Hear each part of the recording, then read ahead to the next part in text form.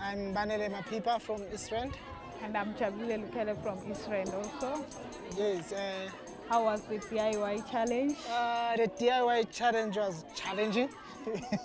yeah, because it looks easy, but then when you actually do the, the, the work itself, I mean, it's very difficult. You see something when it's already done and you love it, but then the work that goes into it, it's, uh, it's too much. Man. It's, a, it's a really good job. So the question I'd like to know, um, our first date, how did you feel about it? What did you like most about it? Uh, what did I like most about our first date? Uh, I, I like everything about it. It was nice. Yeah, I enjoy everything we did on our first date.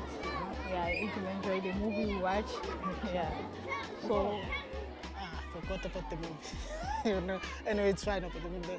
so when I was pregnant, what was the most annoying thing I used to do? The Hot Wings. I hated the Hot Wings. Every time we had to go and buy the Hot Wings, but then, yeah, driving all the way, uh, it was fine.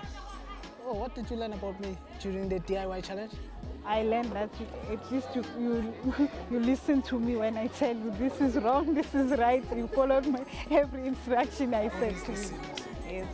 So, and now what did you like? ab- What, what you like about the DIY?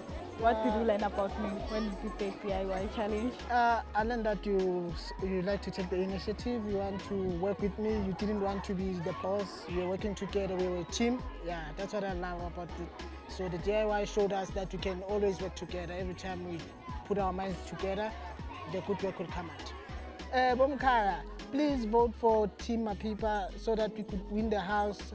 Um, because we really need the house. We must have a home for our kids so that they could have a better life for them.